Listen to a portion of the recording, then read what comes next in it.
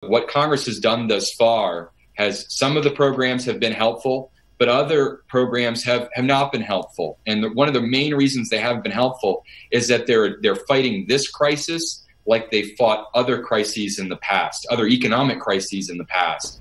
And right now, businesses aren't closed because you know because um, uh, because they because of a of a of an economic or they closed because of an economic recession. They closed because they were told that that was the right public health response and they were shut down by local and state governments. And you know and so just throwing money um, at folks um, hoping that they spend it uh, it isn't isn't just not the right economic solution right now but it might not be the public health solution either.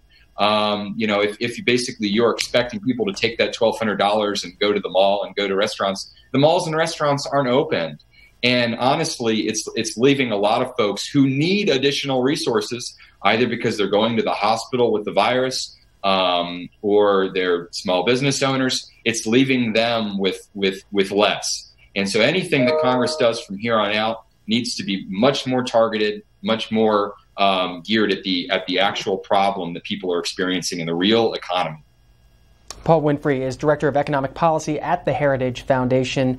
It's heritage.org if you want to check out that group or the new commission, the National Coronavirus Recovery Commission that they've started there. Thanks so much for your time.